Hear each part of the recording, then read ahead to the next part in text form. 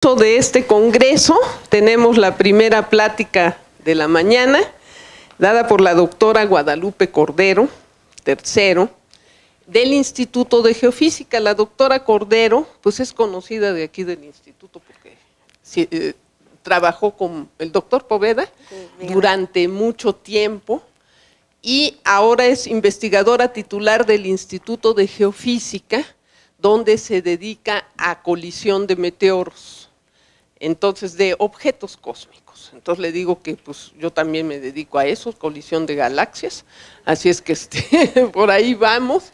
Y eh, en eh, bueno, en toda la parte de los geos, yo quiero decirles que hay un grupo de género bastante importante y ella pues viene un poco representando a este grupo de género de eh, la geología, geofísica, ciencias del mar, este, ciencias, de, la, atmósfera, y también geografía. y geografía, ¿no?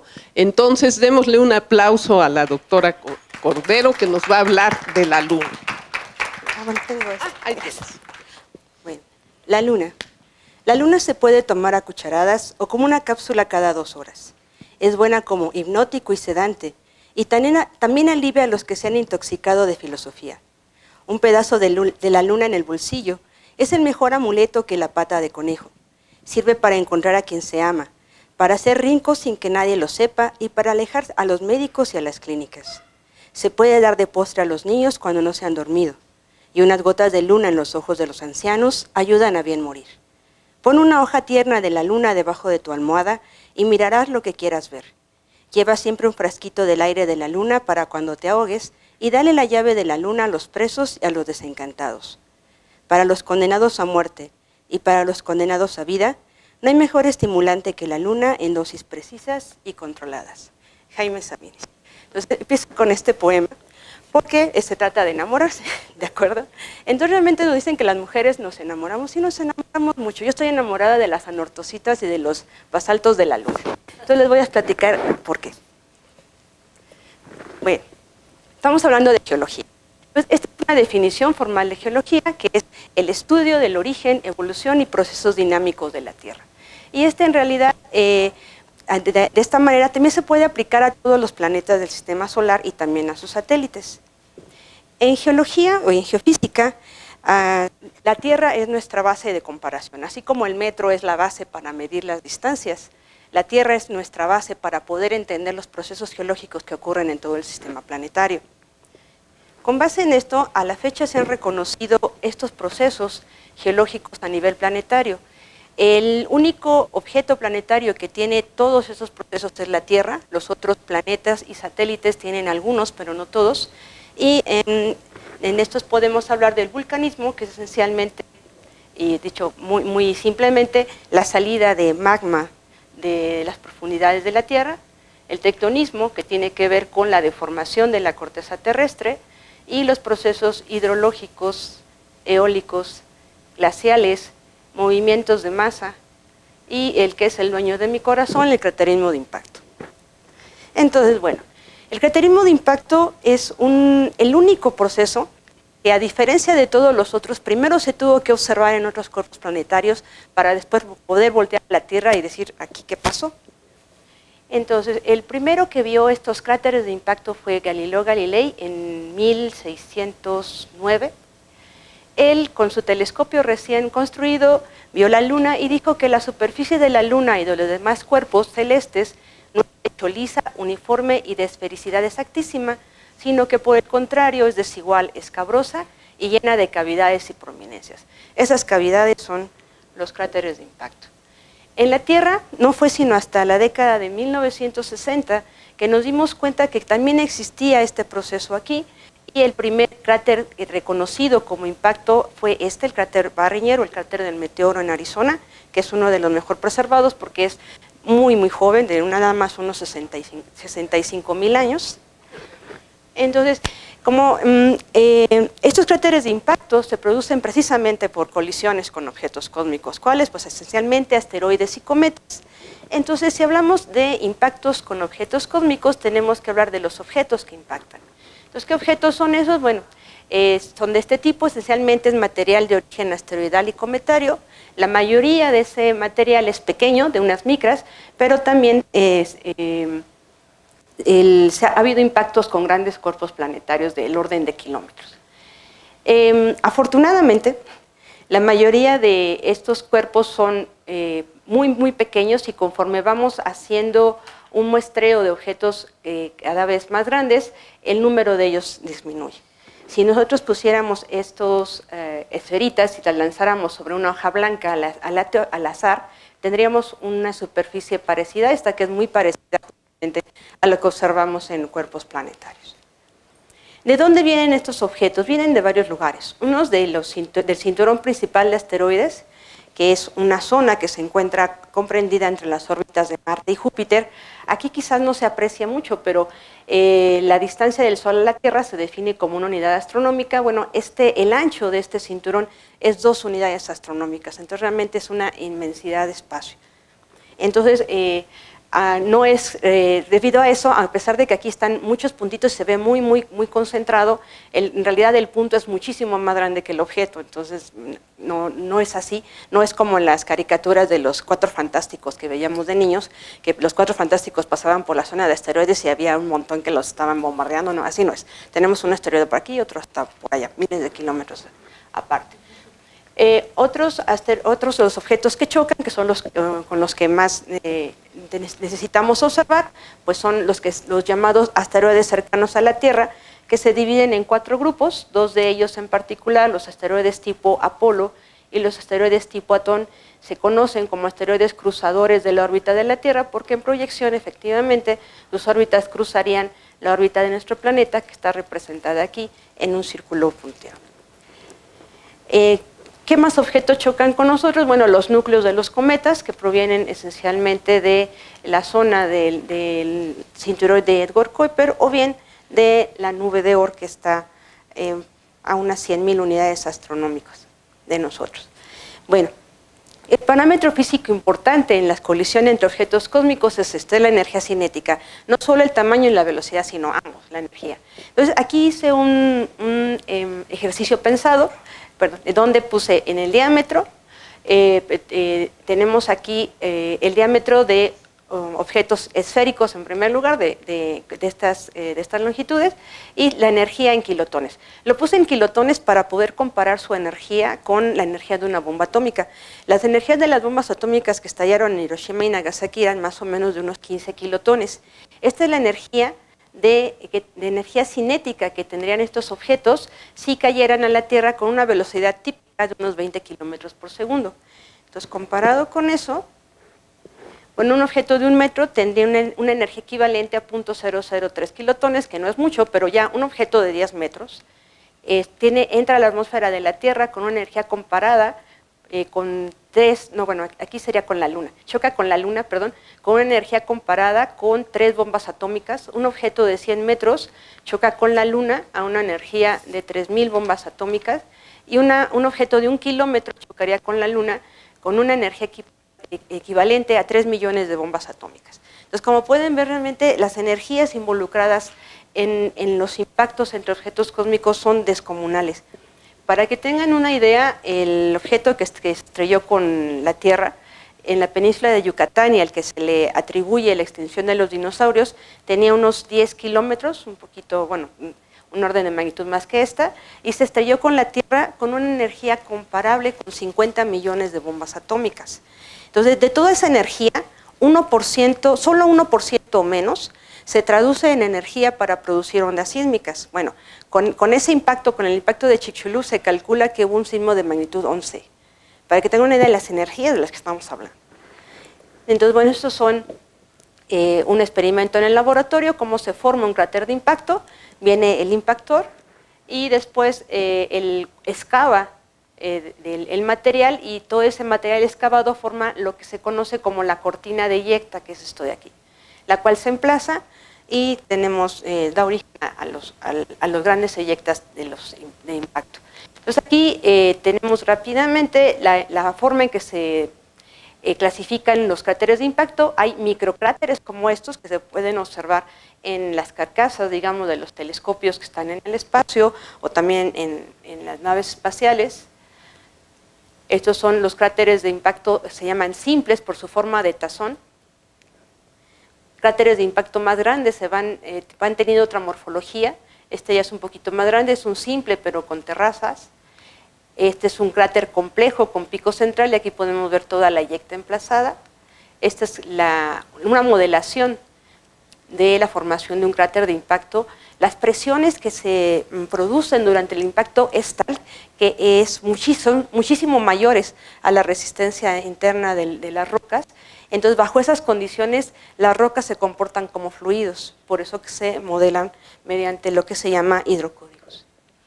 Entonces, bueno, aquí tenemos los cuatro grandes tipos de cráteres de impacto, cráteres simples, cráteres complejos con pico central, cráteres complejos con anillos de picos y las eh, estructuras más grandes que se forman por impactos son las estructuras multianillo. Como pueden ver, aquí tenemos varios anillitos. Entonces, todos, mm, todos estos impactos, como les comento, eh, vieron recuerdan la, cortina de eyecta, toda esa eyecta se, emplaza en los alrededores. Entonces, la Luna, a lo largo de 4.500 millones de años, ha sido impactada frecuentemente por asteroides y núcleos cometarios. Entonces, eh, a lo largo de todo ese tiempo, tenemos esto en la superficie de la Tierra, todo este material que parece talco, esencialmente producto de los grandes impactos, y se conoce como regolito lunar. Otra cosa interesante es esta, la densidad de cráteres de impacto que existe en una zona nos indica la edad relativa de una superficie. Entonces, por ejemplo, esa parte que tiene, que tiene muchísimos cráteres, tanto pequeños como grandes, nos indica que es muy, muy vieja, y conforme vamos avanzando, viendo las otras, eh, los otros cuadros, vemos que esta parte de aquí abajo es la superficie más joven. ¿Por qué? Porque a pesar de que tiene muchos cráteres de impacto, tiene muy chiquitos y casi no hay ninguno grandote. Eso implica que es muy joven. Entonces, esto para, para un geólogo, un geofísico, lo que nos está indicando es que esta parte de la superficie de la Luna ha sido eh, más bien no ha sido mm, renovada por ningún proceso geológico, mientras que en esta parte ha habido un proceso geológico que la, ha renovado. Entonces, de esta forma se pueden em, construir eh, cronologías relativas de las superficies planetarias. Entonces, bueno, aquí lo que tenemos es una simulación de nuevo de eh, una superficie lisa y empezamos a aventarle varios impactores de diferentes tamaños y vamos viendo cómo conforme pasa el tiempo eh, eh, vamos eh, obteniendo superficies muy parecidas a las que vemos en los sistemas, en, los planetas, perdón, y satélites.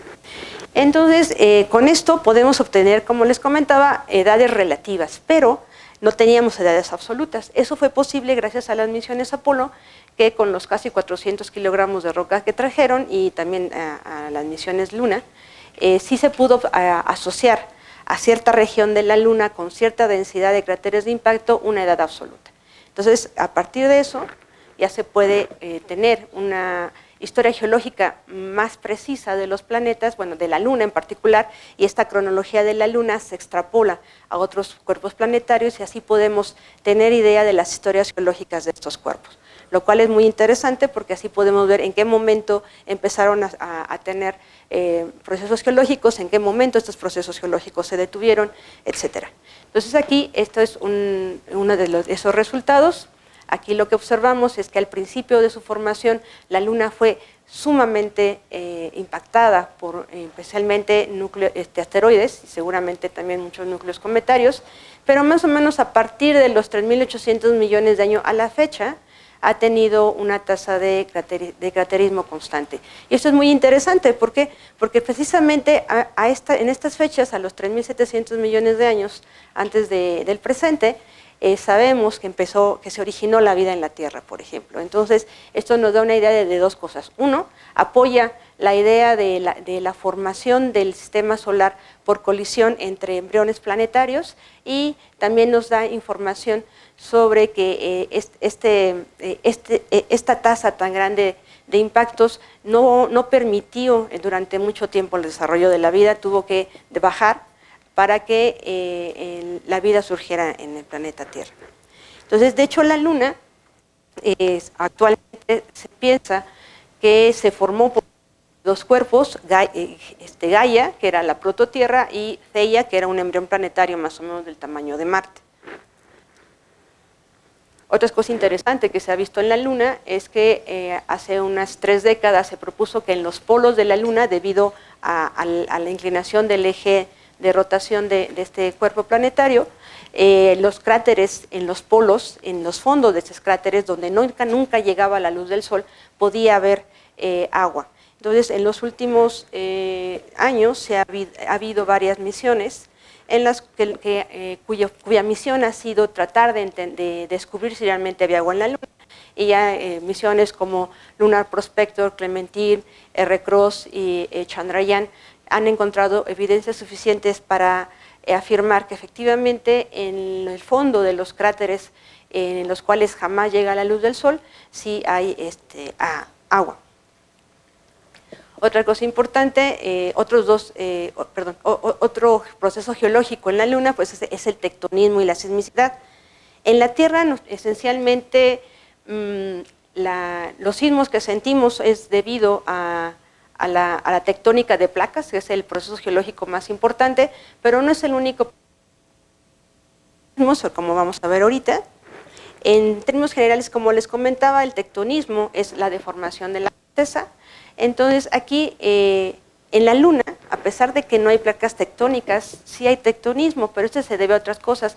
En particular, aquí es una especie de, montañas. Esta especie de montañas se forman en los mares lunares. ¿Cuáles son los mares lunares? son las partes oscuras, donde está el conejo de la Luna. Entonces, en esas partes, eh, la, forma que tienen los científicos planetarios de explicar esta especie de montaña es que eh, originalmente se crearon grandes cuencas de impacto enormes que fueron rellenadas por, lava. Entonces, esa lava cuando se empezó a, enfriar, se empezó a comprimir y también eh, esa, compresión produjo estas montañas. Este es otro tipo de montañas. Aquí se piensa que no solamente hubo compresión, sino también Durante las misiones Apolo, los astronautas llevaron a bordo eh, varios eh, sismógrafos, entonces los dejaron ahí durante varios años, eh, al menos hasta el 72, un poquito más creo, se mm, registraron sismos en la Luna y a partir de esta información se dieron cuenta de dos cosas importantes, que había dos tipos de sismos en la Luna, unos debidos a impactos con meteoroides, y otros debidos a sismos netamente lunares. Pero de nuevo, aquí, ¿por qué hay sismos en la Luna si no hay placas tectónicas? Aquí aparece otro efecto que es maravilloso, que son las fuerzas de marea. Las fuerzas de marea también se conocen como fuerzas diferenciales. ¿Por qué? Porque hayan de cuenta que este, bueno, la, um, computadora es la Luna, mi cabeza es la Tierra. Entonces, esta parte de la computadora está más cerca de mi cabeza que la parte lejana. Entonces, por lo tanto, por la, por la ley de atracción gravitacional de Newton, esta parte que es más cercana es atraída con más fuerza que la más lejana. Esa, esa, esa diferencia de fuerzas hace que la Luna se deforme. Entonces, esa deformación de la Luna es lo que produce los sismos. Pero además vemos otra cosa interesante, la duración de los sismos en la Luna. Si eso, si eso dura en la Tierra, pues este, estamos perdidos, ¿verdad? Pero la Luna duran mucho, porque y esta es una de las razones por las que se pensó mucho tiempo que en la Luna no había agua porque en la Tierra el, agua que está eh, dentro de las redes cristalinas de los minerales eh, actúa como amortiguador de las ondas sísmicas, pero en la Luna no. Entonces, eh, por eso se pensó durante mucho tiempo que no había agua en la Luna. Ahorita la, la visión de esto ha estado cambiando. Esto es lo que les platicaba de las fuerzas diferenciales. Ahora bien, el vulcanismo, también de nuevo, el vulcanismo en la Tierra esencialmente eh, está muy ligado a la tectónica de placas, no en todos los casos, pero sí en, muchos. Hay otro tipo de vulcanismo que, está, que se conoce como vulcanismo intraplaca. Este vulcanismo se debe esencialmente a eh, lo que se llama plumas, que dan de cuenta que son como chimeneas que vienen desde la parte baja del manto y suben y ahí se forman eh, centros volcánicos. Entonces, en, en la Luna como eh, todo, todo el mundo puede observar todos los días en la noche, o muchos días, eh, vemos que hay dos tipos de terreno esencialmente. Un terreno este, oscurito, que como les comentaba son basaltos, es lava, que eh, rellenó las grandes cuencas de impacto. Entonces, todo esto que ustedes ven aquí en, negrito son grandes, grandes, pero en verdad grandes cuencas de impacto. Y todo lo demás que vemos más eh, brillante es, es, el terreno más antiguo de la Luna. Aquí podemos distinguir los cráteres nuevos de los antiguos porque los cráteres más recientes como este se le ven los rayos. Conforme pasa el tiempo, la primera estructura que se pierde de los cráteres de impacto son sus rayos. Entonces, mm, estos materiales, esta es una anortosita, es una roca que de, las que de las que trajeron los astronautas de las misiones Apolo. Este es el tipo de rocas de la zona brillante de la Luna.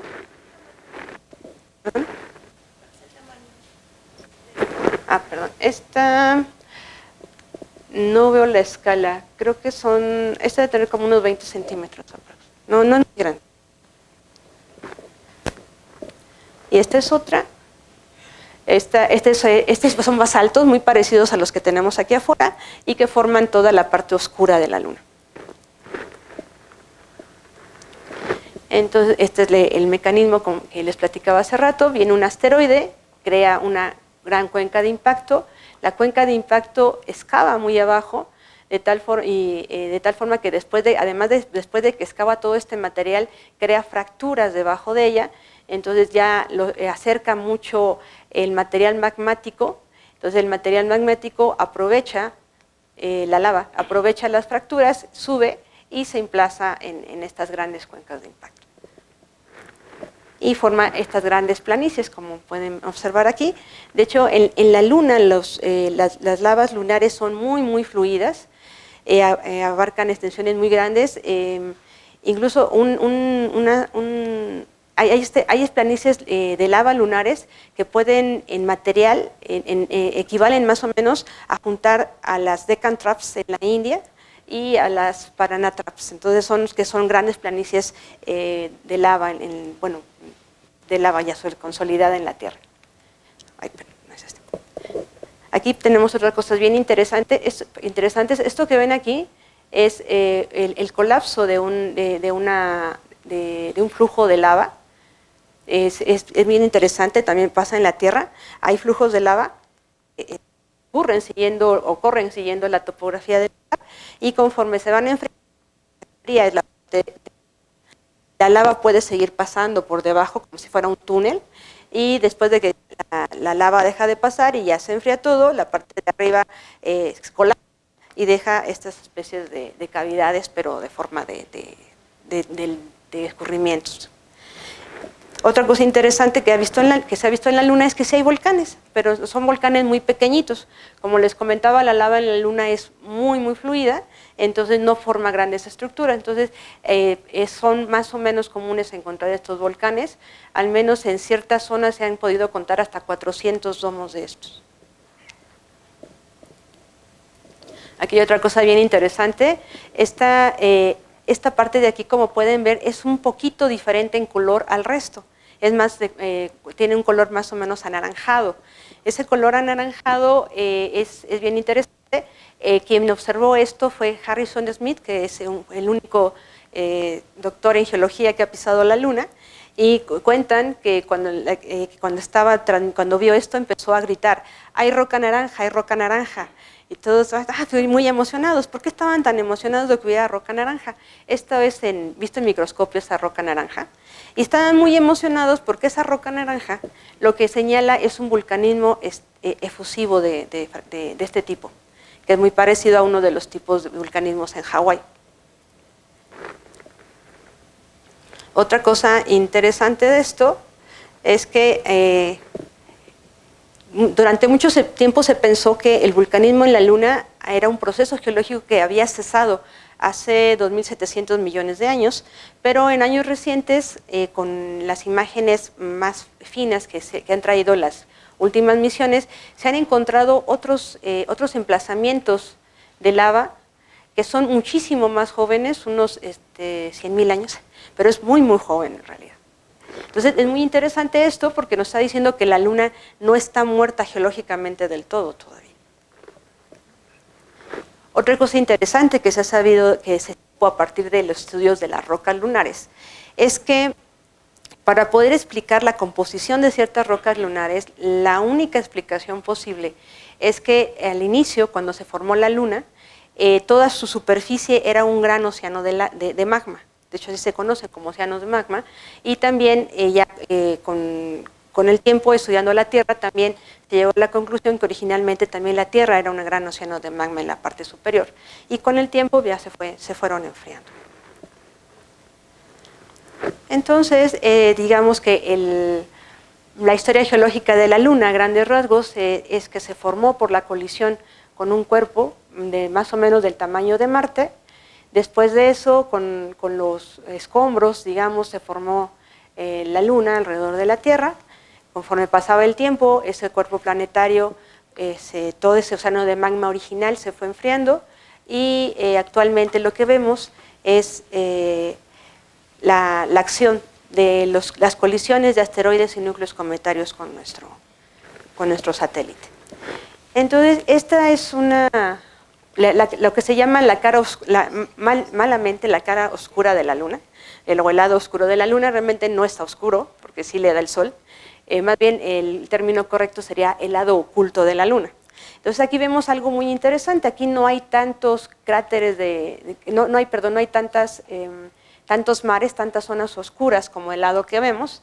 Eh, hay varias explicaciones, una de ellas es que posiblemente debido a esas fuerzas de, marea que les comentaba hace rato entre la Luna y la Tierra, la parte que da, la cara, la cara de la Luna que da la Tierra es más delgada que la parte eh, posterior y aunque hubo grandes impactos aquí, eh, no excavó lo suficiente como para llegar a las cámaras magmáticas y por eso no tenemos tantos cuerpos de lava a la vista en la parte oculta, a diferencia de, la cara que sí observamos. Entonces realmente la luna es maravillosa. Aquí les di como que este, les conté en algunos minutos 4.500 millones de años de historia geológica de la, de, la luna, pero es, es maravillosa. Eh, cada vez, tan solo con los cráteres de impacto nos podemos quedar estudiando la luna toda la vida. Y bueno, pues con esto agradezco muchísimo la invitación de Margarita a este coloquio. Realmente cuando nosotros vamos también a, tratar de recuperar meteoritas, que interaccionamos con las personas, hemos ido a varias escuelas rurales de la zona, sobre todo a las secundarias, y lo que hacemos Karina Cervantes y yo, pues es platicarles sobre todo a las niñas, ¿no? y decirles que eh, hay que hay becas eh, cuando lleguen a la universidad, que hay formas de que sigan estudiando, eh, vemos sus caritas maravilladas con esto y eso este, vale la pena eh, andar de, de, dice mi amiga Karina, durante todo el día, porque no hay forma de, de, comer cuando se va a trabajo de campo, pero es bien bonito ver cómo las niñas sí se entusiasman y a mí me da mucho...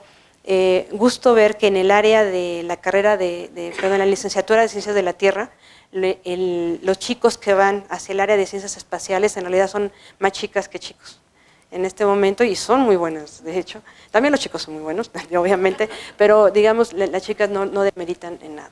Entonces, realmente me da mucho gusto que hagan este tipo de esfuerzos para promover la, las ciencias en las niñas. Gracias.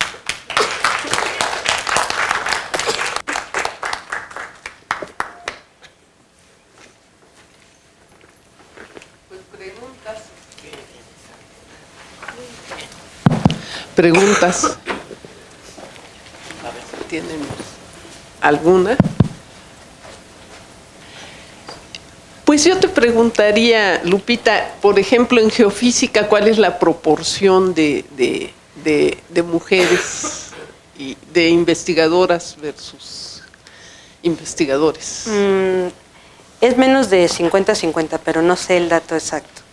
Ajá. Tenemos como 30, 40%. 30, 40%. Ok. Muchas gracias. A ver, Olga. Primero felicitarte por ese entusiasmo, esa pasión que transmites, que es algo muy característico de los de las científicas. ¿Cómo te apasionaste por la geología y por los cráteres? ¿Cómo te nació el escoger entre tantas áreas a los cráteres? Pues ha sido largo. Este, de hecho, yo entré a la carrera de física porque quería hacer física experimental. Quería este, este tener los cabellos así todos parados. Con este, y, este, bueno, eso sí lo logré, claro. Pero bueno, ver, mover instrumentos y todo. Y de repente, por este, casualidad, caí aquí, en esto de astronomía, tomar la materia de eh, astronomía general con Julieta Fierro. Y cuando llegamos, a, bueno, me apasionó las estrellas, dije, yo no, yo no conocía esto, como han, mencionado eh, antes en, durante la inauguración, yo no, yo no sabía muchas cosas. Eh, cuando me presentaban las estrellas, dije, bueno, literal, esto es todo un universo nuevo. Después el, el último tema fue sistema solar, y ahí me enamoré del sistema solar. Y aunque regresé aquí para hacer la, tesis de licenciatura con Arcadio Poveda y Miguel Herrera, lo cual me, encantó, pero como algo dentro de mí seguía latiendo por, por, las, por los planetas. Entonces fue por eso que decidí finalmente irme a geofísica.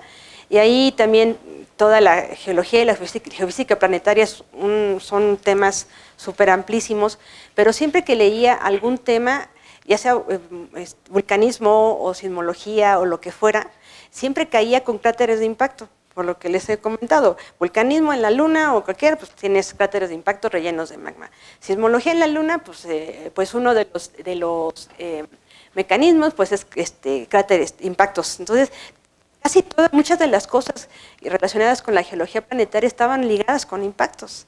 Entonces fue ahí como que me empecé a ir más, más hacia impactos y es a, lo que más me dedico.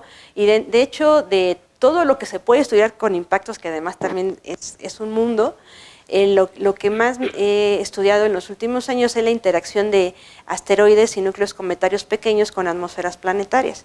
De hecho, ahorita uno de mis, bueno, mi proyecto este, en el que este, trato de impulsar más es la creación de una red de, la red mexicana de meteoros, que la idea es poner estaciones en diferentes lugares y poder estar eh, monitoreando tanto de día como de noche la entrada de asteroides, eh, de meteoroides a la atmósfera de la Tierra sobre la superficie de nuestro, de nuestro país.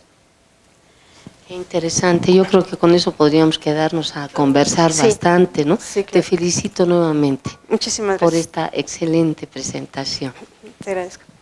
Sí, te felicitamos y démosle una, otro aplauso a, la doctora Cordero y el agradecimiento. Y entonces ahorita presentas a... Ahora sí, quitar. Ah, cierto. Sí.